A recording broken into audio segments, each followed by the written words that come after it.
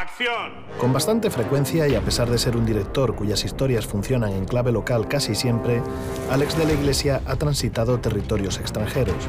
Desde aquella América alucinada de Perdita Durango a la Inglaterra de los crímenes de Oxford o el remake de la italiana Perfectos Desconocidos. ¡Hola, chaval! ¿Quién decía que era mejor Las Vegas? Es maravilloso, es un sueño, es que está lleno de agua. Vamos a comernos Venecia. ¡Por Venecia! Ahora se entrega la iconografía y el telúrico paisaje de Venecia, ciudad que, por cierto, le premió con un León de Plata a Mejor Director y Mejor Guión por Balada Triste de Trompeta.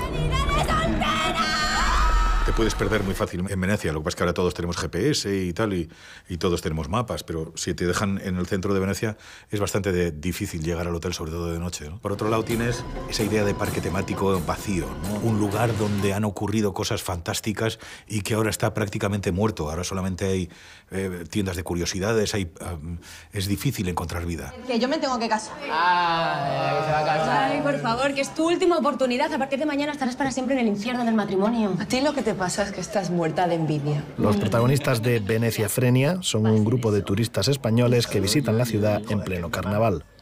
Desde el momento que llegan se hace evidente la hostilidad de algunos venecianos, hartos de la masificación de visitantes. Tourists are the real plague of this century.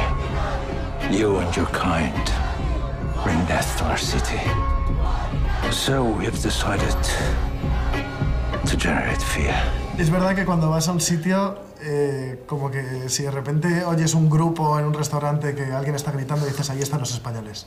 Sí, por favor, madre mía. Además somos muy de eso, ¿no? De decir, ay, pues he escuchado, ah, mira, todos sois españoles, ¿no? Sí, sí. Ah". A ver, yo también prefiero ir de marcha que no de espiritismo y esa movida. Seamos eh, sinceros, yo soy un turista, yo no, no puedo más que reconocer que soy uno más, ¿no? Sin embargo, es algo que todos siempre pensamos que no es así. Siempre pensamos que, ¿sabes? Dices, o la guerra de Ucrania, desde luego esta gente, eh, o esto, o aquello, o el calentamiento global, es que desde luego las empresas, o sea, quiere decir que todo es ajeno, todo siempre es una proyección que ocurre delante tuyo. Y lo interesante es cuando de pronto dices, no, en este entorno el mal está frente a ti y lo entiendes como mal, ¿no? Tú te sientes culpable por formar par- parte de ello. No le vi sentirse culpable en ningún momento. Él estaba disfrutando como un niño, vamos, a más sangre hubiera y a más mm, peleas y a más probabilidad de morir, eh, mejor se lo pasaba. Se, se ve que disfruta mucho rodando y que le encanta y, y eso también es muy contagioso. Porque, claro, cuando el director está contento, el equipo está contento, es así.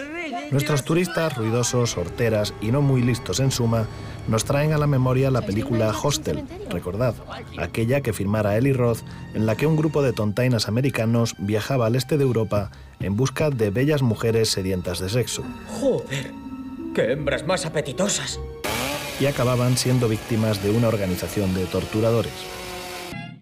De la Iglesia se sitúa a medio camino entre el slasher y el giallo de los 60-70, el terror propio de Italia que no en vano utilizó los decorados de la decadente Venecia en algunas ocasiones. El yalo es una excusa, ¿no? Para contar la historia. Si el espectador se mete en ese mundo exagerado y, y grotesco del yalo, pues eh, la va a aceptar mejor. Venecia Frenia conecta con el giallo en eso tan propio de su género. Hay un asesino misterioso cuya identidad y rocambolescos motivos para el crimen no son desvelados hasta el final de la cinta. Lleva años robando a los turistas. No, no, no son solo robos, es algo más.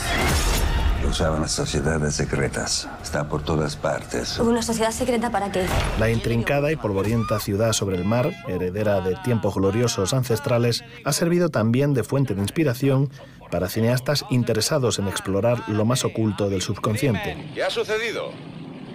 Ha habido un homicidio, no se puede pasar. ¿Ha dicho un homicidio? Sí. Esa es una de mis películas favoritas. Y el que, el que más me influye ¿no? para hacer la película.